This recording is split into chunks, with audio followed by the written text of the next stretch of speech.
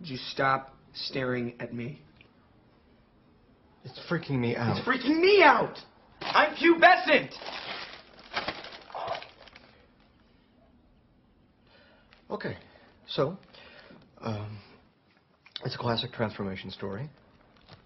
Are you now, or have you ever been, a Norse god, vampire, or time-traveling cyborg?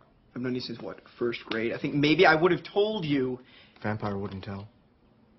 Cyborg wouldn't know. Shut up. Okay, if it's not any of those, I guess um, we're looking at your basic spirit guide transformation magic.